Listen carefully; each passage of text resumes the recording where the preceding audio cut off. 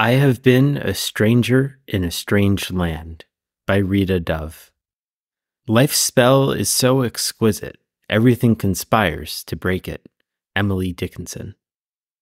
It wasn't bliss. What was bliss but the ordinary life? She'd spend hours in patter, moving through whole days touching, sniffing, tasting, exquisite housekeeping in a charmed world. And yet there was always more of the same, all that happiness, the aimless being there.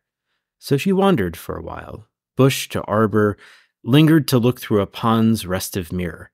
He was off cataloging the universe, probably, pretending he could organize what was clearly someone else's chaos. That's when she found the tree, the dark, crabbed branches, bearing up such speechless bounty, she knew without being told this was forbidden. It wasn't a question of ownership. Who could lay claim to such maddening perfection? And there was no voice in her head, no whispered intelligence lurking in the leaves, just an ache that grew until she knew she'd already lost everything except desire, the red heft of it warming her outstretched palm.